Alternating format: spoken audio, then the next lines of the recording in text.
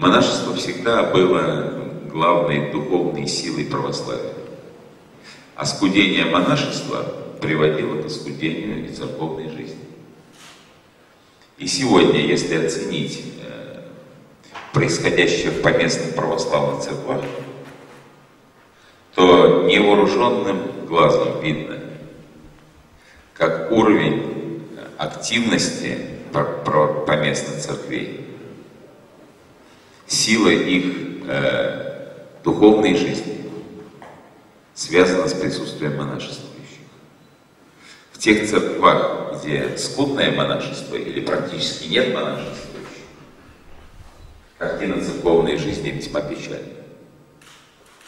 Но для такой церкви, как э, русская церковь,